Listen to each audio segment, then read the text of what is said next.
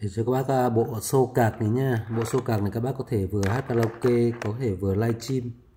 Đây. À, cái bộ theo bộ của nó là nó chỉ có dây này thôi bạn. nhưng em đã có mua thêm cái bộ cái dây livestream này à, cái dây livestream này là dây đa năng. Nó sẽ dùng chuyển đổi ví dụ như là à, dùng iPhone thì gạt sang A này dùng Android Android gạt sang B này. Đấy. Và dây này nó có ba đầu dây cơ. Ba đầu dây nó có thể live stream uh, giao giao có nghĩa nói chuyện trực tiếp hai chiều còn dây của nó nó chỉ có hai đầu này thôi. Còn đây là tận ba đầu ba đầu. Đấy. cho bác luôn cái dây nữa. Đi theo.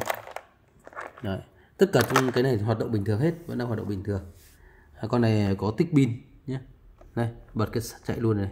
Tích pin. Đấy tích pin. Ngoài ra thì các bác à, cắm cái cái dây này này. Nó vừa là cung cấp tín hiệu. Cắm vào máy tính để lấy tín hiệu âm thanh từ đấy vào đây này. Hoặc là sạc luôn đấy nó có hai chức năng vừa lấy tín hiệu vừa vừa sạc. Cái này em tắt đi ok chưa?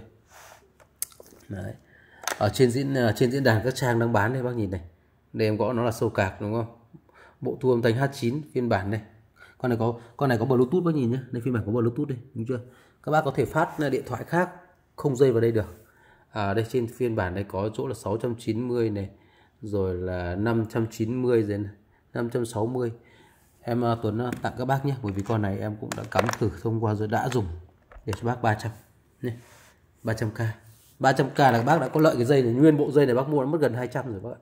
Nhé để cho bác 300k bác nào lấy về vừa thu âm ra điện thoại rồi là vừa hát livestream vừa phát trực tiếp, tùy các bác.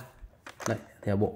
Nhé 300k bác nào có nhu cầu liên hệ với em Tuấn nhanh thì phải nhu cái gì bác? Rẻ đến ờ, một nửa.